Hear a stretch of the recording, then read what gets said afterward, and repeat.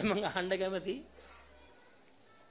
අනුන්ගෙන් කාලා අනුන්ගෙන් ෂර්ට් කලිසම් අරගෙන බංකොලොත් නැති බැරි රටක්. සවි බල ගන්නන්න පුළුවන් ගොඩනගන්න පුළුවන්. මිනිසා මම විශේෂයෙන්ම මේ අවස්ථාවේ කියන්න කැමති රට බංකොලොත් වෙලා තිබෙන මොහොත. මේ බංකොලොත් වෙලා තිබෙන මොහොතේ රට ගොඩනගන අභියෝග. ජන වර්මක් සමග බාර ගන්නට මෙවයින් දුවල යන්නට බෑ. දැන් ලෝකයේ තියෙනවා සීමිත සම්පත් ප්‍රමාණය. රටේ නායකයාගේ දක්ෂතාවය වෙන්නට ඕන. ලෝකයේ තියෙන සීමිත සම්පත් ප්‍රමාණයෙන් වැඩි පංගුවක් වැඩි ප්‍රතිශතයක් අපේ රට ලබා ගන්න. ඉතින් එහෙම ලබා ගන්නට සිද්ධ වෙනකොට වාද විවාද කරන්නට ඕන. තර්ක විතර්ක කරන්නට ඕන.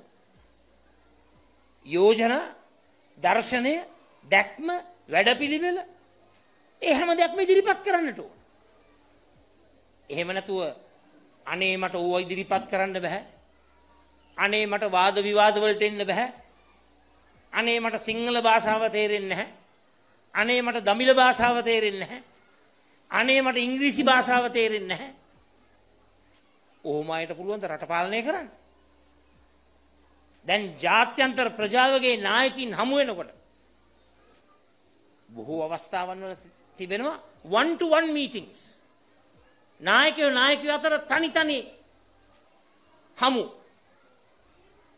එතනදී පුළුවන් ද නායකයන්ට ගිහිල්ලා ඔළුව කහ කහ ඉඳගෙන මම මේකට සිංහලෙන් කියනවද නැත්නම් දමිළ භාෂාවෙන් කියනවද නැත්නම් ඉංග්‍රීසියෙන් කියනවද? ඕව ගැන හිත හිත ඉන්න පුළුවන්ද? ඔහොම අයට පුළුවන්ද රට ගොඩගන්න රටට නායකත්වයක් දෙන්න? ඒ නිසා මම එකක් කියන්න කැමති. මේ ඔක්කොම රටට හෙළිදරව් කරන්න පුළුවන්. කාටද වැඩපිළිවෙලක් තියන්නේ කාටද දර්ශනයක් තිබෙන්නේ? කාටද ගමනක් තිබෙන්නේ?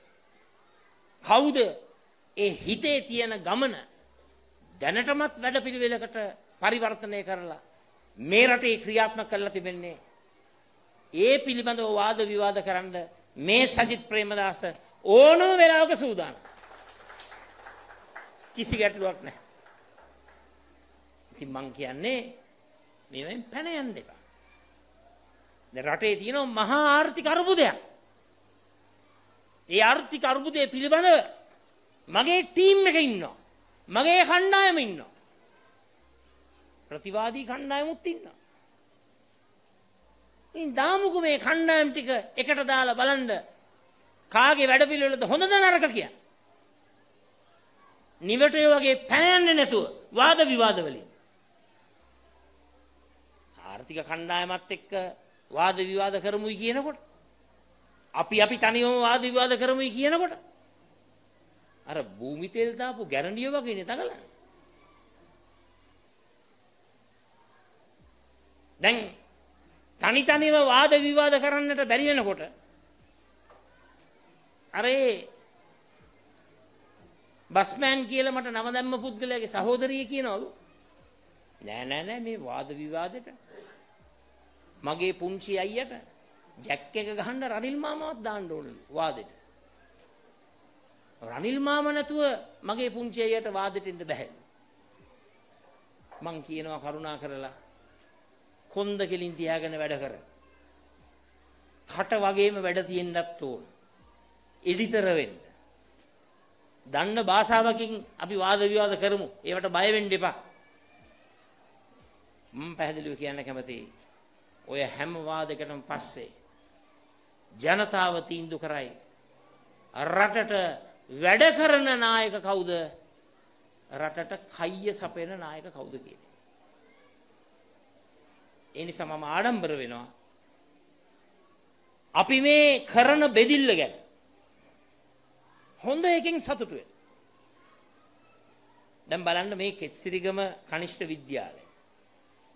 මොන්රාගල දිස්ත්‍රික්කයේ මෙහා කොනේම තියෙන ගමක් පාසලක්. එක වැඩ කරන කම්පියුටරයි තියෙන්නේ. දරුවෝ 278ට. මේ දරුවෝ ස්මාර්ට් බෝඩ් එකක් දැකලවත් නැහැ. නමුත් වේදිකාවේ අපි ස්මාර්ට් රටක් හදන්න ඕන. ඩිජිටල් රටක් හදන්නට ඕන. ඔන්න කියන කතා.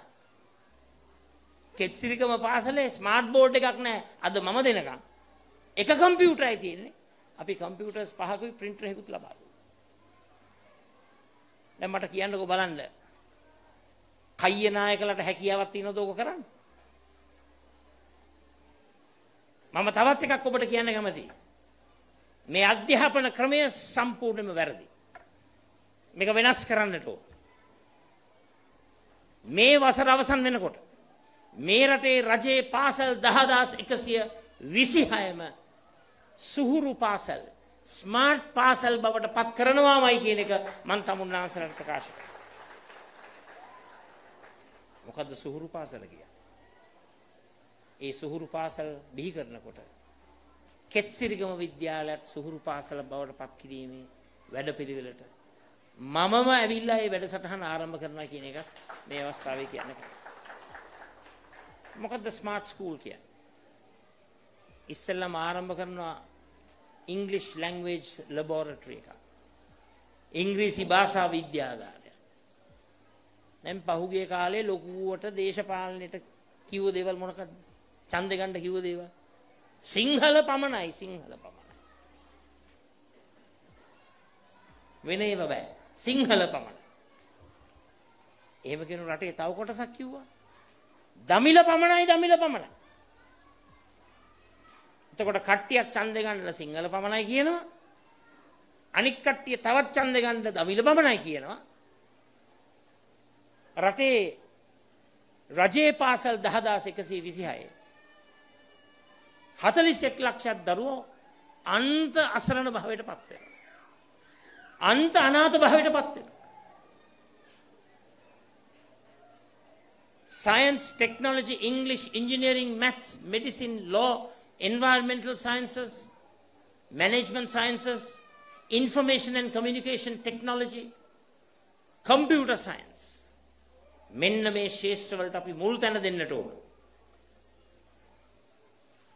හැම පාසලකම අග්‍රගන්නේ ජාත්‍යන්තර තලයේ පරිගණික මධ්‍යස්ථාන විහි කරන්නට ඕන.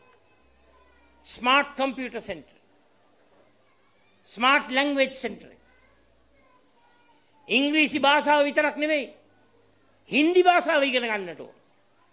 චීන භාෂාව ඉගෙන ගන්නට ඕන. ඇයි? ලොව විශාලතම වෙළඳ පොළවල් දෙක ඉන්දියාව සහ චීනය. භාෂාව ඉතාමත්ම වැදගත් වෙනවා වෙළඳ පොළ ප්‍රවේශයට. ඒ යුතුයකම අපි ඉෂ්ට කරන්නට ඕන අපේ රටේ දරු පරපුර වෙන්න.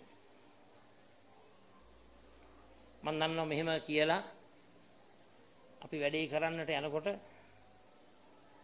ගුරුවරුන්වත් මහපාරට බස්සයි දරුවන්වත් මහපාරට බස්සයි දේශ ප්‍රේමිත්වයේ නාමෙන් සජිත් ප්‍රේමදාසගේ විජාතික අධ්‍යාපන ක්‍රමය පරදවමු කියලා පෙළපාලිත්‍යයි.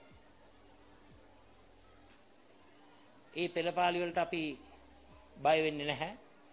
හැබැයි ඉතින් පෙළපාලේ ගියයි කියලා 41 ලක්ෂයක් දරුවෝ වැටී තිබෙන ප්‍රපාතෙන් ගොඩ එන්නෙත් නැහැ. මම ඔබට කියන්න කැමතියි මේ වසර අවසන් වෙනකොට අපි මේ ඉදිරිපත් කරපු ප්‍රතිසංස්කරණ. හැබැයි කොන්දේසි දෙකක් තියෙනවා. නිකන් ඉවත් බවක් නැතුව කරන්න බෑ. පාසල් 10126ටම අවශ්‍ය භෞතික සම්පත, මානව සම්පත ලබා දීලා මේ දැවැන්ත අධ්‍යාපන ප්‍රතිසංස්කරණ ක්‍රියාවලිය. අනිවාර්යෙන්ම කවුරු විරුද්ධ වුණත් ක්‍රියාත්මක කරනවාමයි කියන එක මම මේ අවස්ථාවේ ප්‍රකාශ කරනවා.